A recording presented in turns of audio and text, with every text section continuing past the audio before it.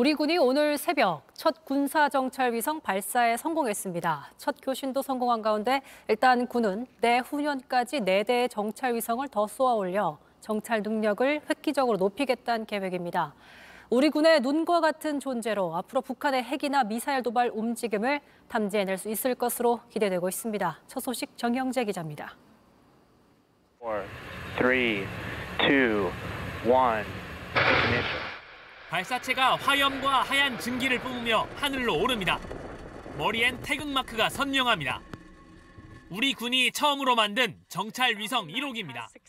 우리 시간으로 오늘 새벽 3시 19분 미국 캘리포니아 발사기지에서 스페이스X 펠컨 9 발사체에 실려 우주로 향했습니다.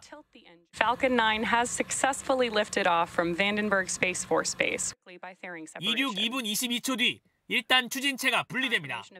이어 2단 추진체와 위성 보호 덮개인 페어링까지 분리해냅니다. 정찰 위성은 정상 궤도에 안착했고 1시간 18분 만에 첫 교신에 성공했습니다. 이번 발사 성공으로 우리 군은 한국형 삼축 체계의 기반이 되는 핵심 전력이자 독자적 우주 감시 정찰 능력을 확보하게 되었습니다. 정찰 위성은 고도 400에서 600km에서 지구를 도는 저궤도 위성입니다.